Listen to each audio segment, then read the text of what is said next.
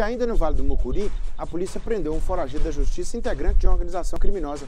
Ele estava escondido em uma casa na região central de Teoflotone aí, né, Fantônio?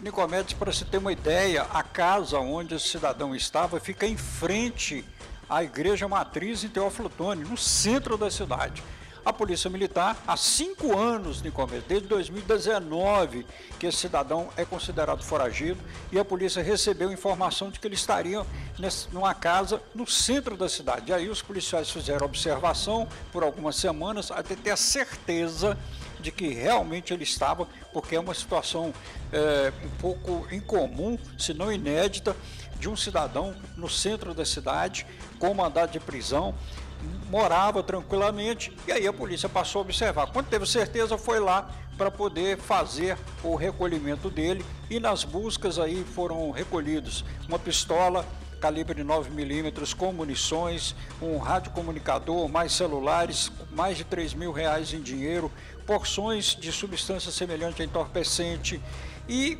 nas buscas os policiais acharam uma munição calibre, uma munição de fuzil Nicomedes, calibre 556. E esse material, essa, essa peça, estava no quarto de um dos parentes do cidadão uh, do fugitivo, razão pela qual o parente dele também foi levado para a delegacia, Nicomedes. Então aí um trabalho importante, porque segundo a polícia, esse cidadão que foi preso, fugitivo, ele tem passagens por envolvimento com tráfico de drogas, homicídios. Inclusive, nós estamos produzindo material para logo mais no MG Record detalhar essa situação.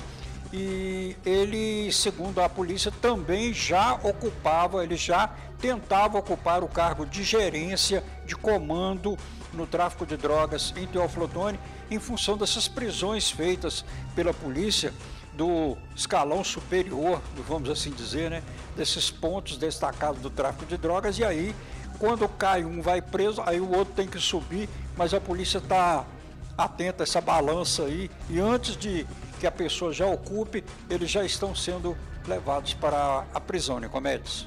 É o, é o que a estrutura administrativa vai chamar de organograma, né, Fantônio? Tem um organograma, né? Tem aí a, a turma de baixo é como se fosse uma pirâmide, né? Aí tem coordenador, gerente, diretor, supervisor, né? diretor-geral, presidente, por aí vai, né? É, que nem uma estrutura mesmo. Obrigado, viu, Fantônio?